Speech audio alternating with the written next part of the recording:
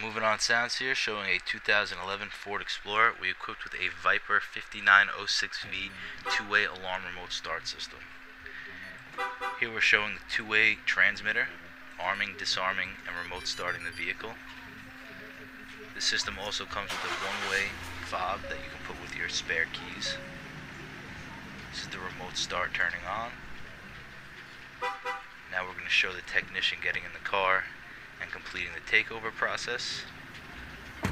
Get inside the car, key the ignition, turn it to the on position, put your foot on the brake, car in gear, and you're ready to drive away.